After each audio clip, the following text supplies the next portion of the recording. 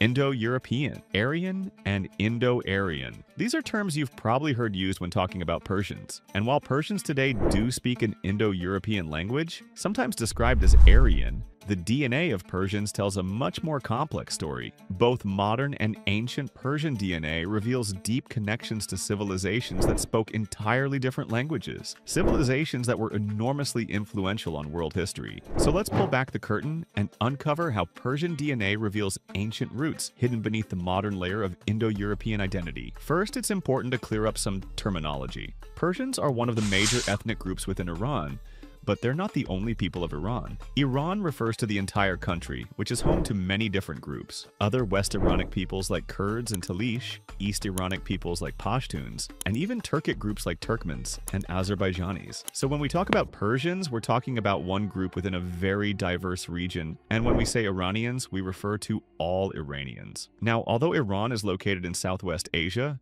Iranic speakers themselves did not originate there. Because the modern nation is called Iran, people often assume that Indo-Iranian nomads, Persians, and the land of Iran are one and the same. But that's not historically accurate. Indo-Iranian speakers are thought to have originated much further north, in modern-day Kazakhstan and southern Russia. Archaeologists link them to cultures like Andronovo and Sintashta. These groups were, in turn, offshoots of the corded ware culture in Eastern and Central Europe. The corded ware people themselves were a fusion of Yamnaya steppe pastoralists and European farmers from the globular amphora culture. To simplify, Indo-Iranian speakers were originally nomads with European roots closely related to early Germanic, Slavic, and Baltic peoples. They migrated eastward into Central Asia, where they became a distinct Indo-European branch. Based on ancient DNA, they carried haplogroup R1a, especially the Z93 subclade. Genetically, they resembled modern Scandinavians because they too descended from corded ware people.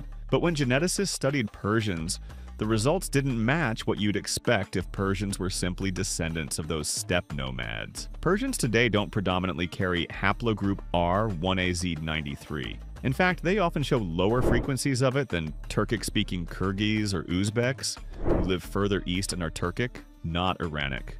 Even more surprising, overall Indo-Iranian ancestry in Persians averages out to be in the 15 to 20% range. So how did this happen? If Persians aren't mostly descended from Indo-Iranians, then who makes up the bulk of their DNA? The answer lies in Iran's position as one of the world's great crossroads. Human groups have been living here since the very earliest migrations out of Africa.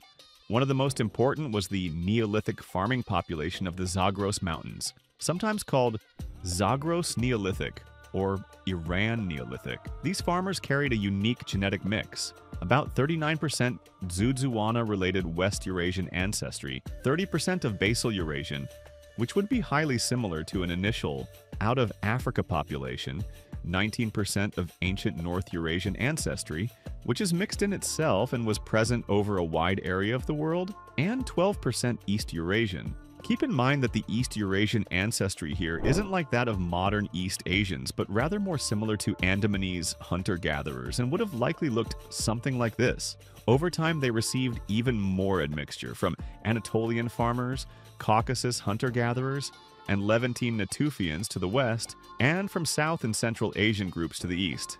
By the Bronze Age, three cultural and genetic zones within Iran had emerged that would profoundly shape the genetic story of Persians. In the northwest, the Mannaeans. In the northeast and central Asia, the Bactria Margiana Archaeological Complex, BMAC. In the south, the Elamites. The Elamites lived in southern Iran and showed strong genetic continuity with Neolithic Iranian farmers. They had additional input from Anatolian farmers and Levantine Natufians, but crucially they lacked Indo-European steppe ancestry. They spoke a non-Indo-European language and maintained their identity for millenniums. The Elamites traded with the Indus Valley Civilization, and some scholars suggest that Dravidian languages in India could have roots in Iranian farmers, perhaps through the Elamites or BMAC. The Elamites likely provided the genetic foundation for a large portion of modern Persians. Their language even survived well into the early Islamic period, where historical sources mention Khuz, a language distinct from Persian. Unfortunately, like many minority languages, it eventually went extinct under social and political pressures.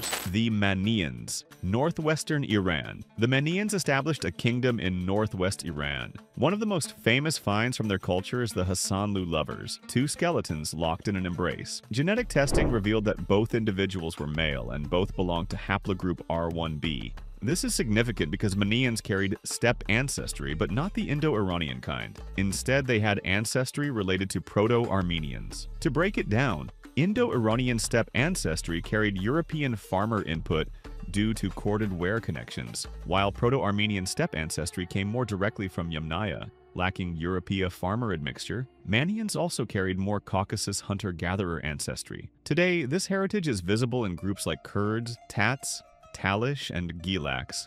Their Indo-European ancestry traces more to Proto-Armenian-like populations, rather than to Indo-Iranian nomads. The BMAC, northeastern Iran, and Central Asia. The Bactria Margiana Archaeological Complex, or BMAC, flourished in northeastern Iran and Central Asia. Genetically, they were descended from Iranian Neolithic farmers, Anatolian farmers, and ancient North Eurasians and mixtures sourced from populations like Tutkaul. Unlike nomads, BMAC people were sedentary farmers and goat herders. They played a huge role in the cultural and genetic landscape of Central and South Asia. They contributed ancestry to the Indus Valley civilization and may have even influenced its language. Today, all Iranic-speaking groups carry this ancestry in significant amounts. Here's where Indo-Iranians re-enter the picture. When nomads from the steppes began to spread, they mainly took two different paths. One branch mixed with Yeniseian Siberians around the area of modern Altai, creating Scythians, who were a blend of Indo-Iranian, East Eurasian, and minor BMAC ancestry. But others instead migrated directly south, bypassing admixture with Siberians and instead heavily mixing with BMAC peoples. For example, an Iron Age sample from Turkmenistan shows about 55% BMAC and 45% Andronovo ancestry. This blend produced the Avestan Yaz culture, which combined steppe traditions with BMAC spirituality. Many scholars argue this culture deserves the label Aryan more than the steppe nomads alone, since it gave rise to the religious and cultural systems we associate with Indo-Iranian identity. By the time Indo-Iranian speakers entered Iran proper, they were already genetically blended with BMAC peoples. And because Iran was a densely populated agricultural region, steppe nomads were always a minority. Farming societies could sustain far larger populations than pastoralists. This explains the patterns we see today. Indo-Iranian ancestry peaks in northeastern Iran, reaching close to 30% in Khorasan province, but decreases in the former Elamite regions, and is nearly absent in the Northwest. Their Indo-European languages spread primarily through cultural diffusion. Northwestern groups likely already spoke another Indo-European language and eventually adopted Indo-Iranian ones with minimal genetic replacement. Overall, Indo-Iranian steppe ancestry, as mentioned earlier, averages out between 15 and 20% in modern Iranians. The big picture is this. Modern Iranians show remarkable continuity with Bronze Age Iranians. Steppe ancestry added a layer but it never replaced the native populations. Indo-European language and identity in Iran spread largely through intermarriage rather than replacement of the natives. This is not unique to Iran. Spaniards, South Italians, and Sardinians, for example, are mostly descended from pre-Indo-European peoples but speak Indo-European languages today.